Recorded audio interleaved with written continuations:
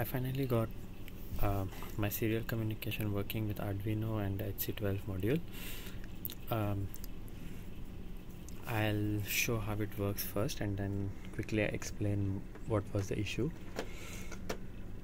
So I just uh, compile and upload the speech. Okay, you see the blink, that means the setup is complete. And then I go to the serial monitor okay.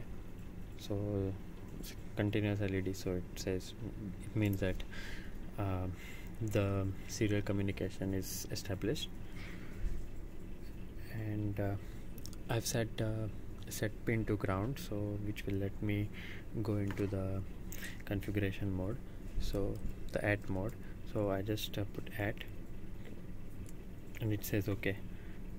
Um, that means that I can connect successfully to the at mode. And let me quickly show you some more things with this at so at cx oh something wrong. At plus rx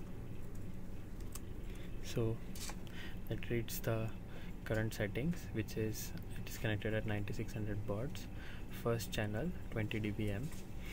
Uh, 20 dBm is the power which is the highest power. And FU3 is the mode. Just check the datasheet for more information on this. Okay so let, let me quickly tell you first what was the issue.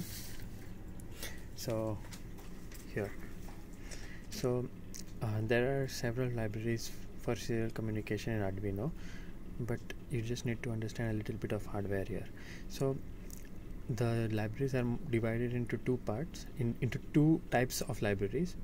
One is hardware serial another is software serial. That is the most use of hardware serial is the most preferred way because it will be the most efficient one. Um, however if your board has limited number of hardware serial ports or any other reason you can always use software serial but remember that use of software serial will put load on your CPU uh, so there are several uh, so there are three um, commonly used software serial libraries. One is software serial. This is really bad. This causes the issue and do not use this. And next one is the new software serial. This is all right but I couldn't get it working with my Teensy board but I think with Arduino Nano it works. Uh, and then finally there is alt serial which works with my Teensy uh, one thing to note here is that only only a particular ports can be used for serial communication. Not all ports are available for serial communication. It was a little, uh, I didn't know this before. It's important to know this um, so I was trying something crazy here. So the thing is a uh, lot of time this this module needs a lot of power and which is not sufficient through the Arduino so you need external power supply which was I was trying to do but was not successful and ended up blowing one or two of my HC12 modules. Um, so the so the point is you need to supply between 3.3 and 5 volts uh, through an external battery or external power supply. And you also need it's it's it's all uh, you also need a 100 100 microfarad capacitor. Uh, I'll, I'll quickly show you the relevant uh, circuit in uh, in the datasheet where did it go? Where did it go? Okay. I think I couldn't cannot find it.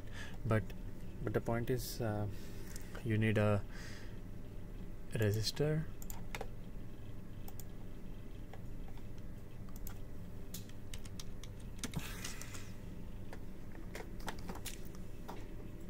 yeah I found it I think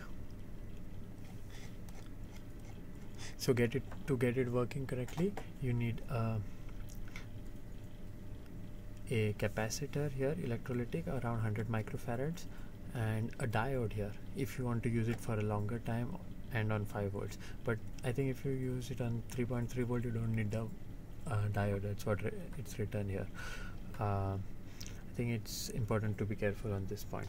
And also another important point is the TX from HC12 has to be connected to RX on the Arduino and RX on the Arduino has to be connected to TX to the HC12 you need to flip it basically